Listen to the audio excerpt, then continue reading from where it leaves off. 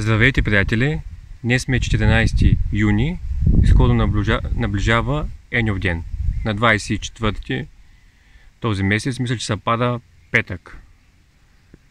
И той е стане известен с Деня на билките, а пък ето това пред мен е жълт кантадион. Вече съм правил няколко видеоклипа, също и за рецепти, за какво е полезен. Този видеоклип е от тази година, 2022, просто тук до пътя буквално. Е, ще го покажа. Случайно го видях и си казах защо пък да не, да не го заснема.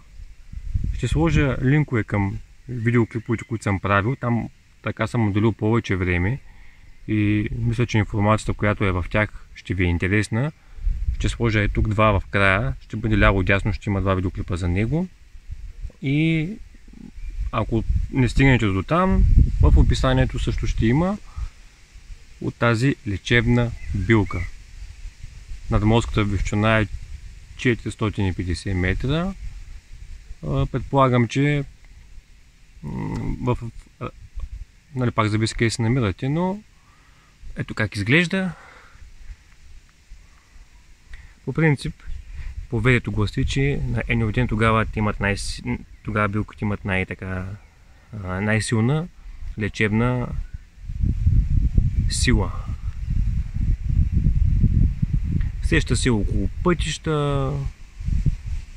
В случая тук расте напълно, как да кажа, нали, диво. Виж как цъфти. Има също и червен. Той обаче е доста по-рядък и някой ден ще специално трябва да отида и за него, тъй като тук в нашия регион няма, но на около един час път с кола ми казаха местност, на която може да се намери, да се срещне. От. И така. И имам така желание, стига да имаме възможност някой ден, ще отида и ще направя едно видео и за него. Да не става толкова дълъг този видеоклип, защото им беше просто така да се включа с една нали, от, от, от днес, палец нагоре, гледайте тези видеоклипове, ако ви е интересно за билките. А това е за сега от мен. И всичко добро. Чао, чао!